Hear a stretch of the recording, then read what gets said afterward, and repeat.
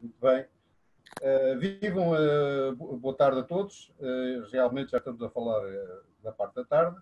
esta iniciativa da Sociedade Portuguesa de Ciências de Educação, com a sua secção de Educação à Distância, é de uma relevância importante nesta fase que estamos a atravessar e em que muitos salientavam os aspectos da educação à distância, que era um momento de oportunidade, que era um momento eh, realmente para colocarmos eh, na agenda muitas questões que vinham de trás de muitos trabalhos, de muitas eh, experiências. Eu também achei, e eu como muitos outros, e temos colaborado em diversas iniciativas que ocorreram.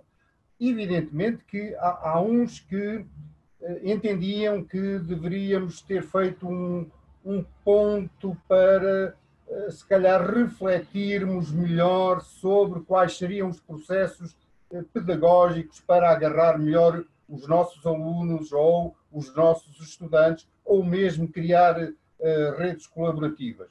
Contudo, uh, há outros, e eu se calhar enquadro-me nestes, que dizem: bom, as coisas são como são, as pessoas têm que aprender fazendo, e pela minha experiência de facto já são 20 anos de e-learning que, que passaram num instante, é natural que, se não tivesse ocorrido esta emergência, muitas destes professores, destes formadores, destes tutores, talvez não tivessem a, eh, eh, a emergência de ocorrerem às, às diversas plataformas e passarem por diversas experiências. Agora, todos dizem que realmente foi muito bom e muito importante que isto acontecesse.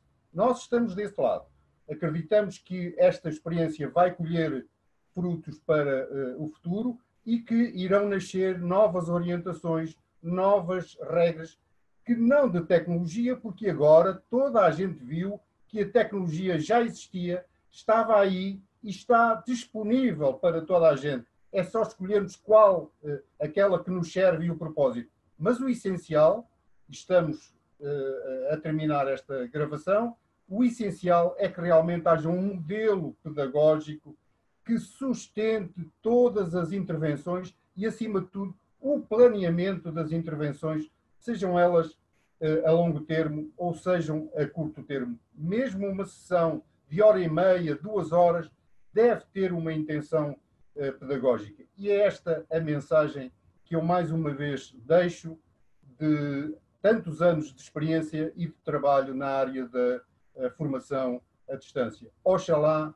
eh, o futuro nos reserve boas oportunidades, não com o Covid, sem o Covid, mas com muita formação e educação pela, pela, pela frente, porque a nossa juventude realmente merece e tem ambições para o futuro.